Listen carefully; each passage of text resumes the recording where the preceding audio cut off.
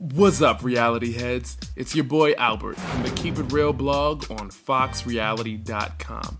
And on the line, I've got the band Day 26 from MTV's Making the Band. Can you let us know uh, where the name Day 26 came from?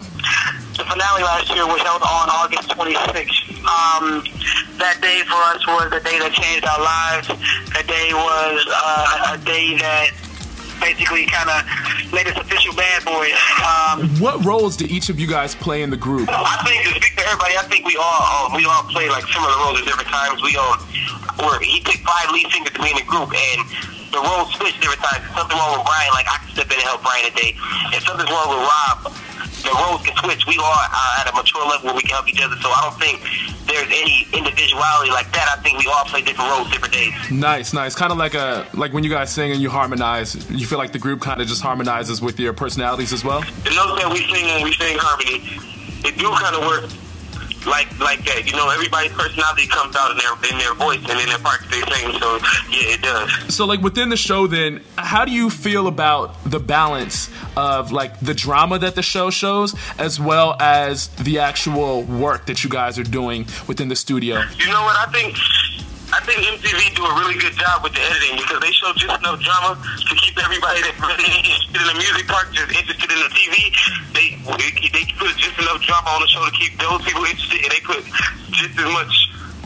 Just as much into the music part of it, enough to keep the people that's listening for that interested. You know what I mean? So I think it's a, I think it's a perfect balance. That's why um, the show was rated one of the highest, well, the highest show greatest show on MTV history, period. How do you guys cope with such, you know, with criticism when people try to come up against you and say, okay, well, you know, these group of guys, like, they don't have anything to complain about.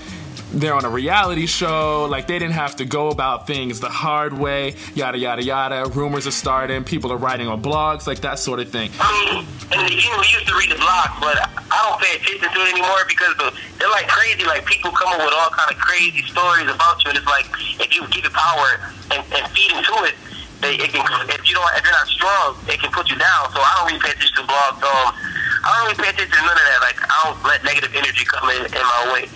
Uh, we haven't really talked about Diddy much during this interview, um, and that's because it's about you guys. But since your boss does have his hands in so many other things, like he's got music, he got Broadway, film, fashion, and all of that, do you feel as though uh, it's a competition just to get attention from him to make sure that this album is tight? Uh, no, because I mean, honestly, he was he was very very much involved in the album.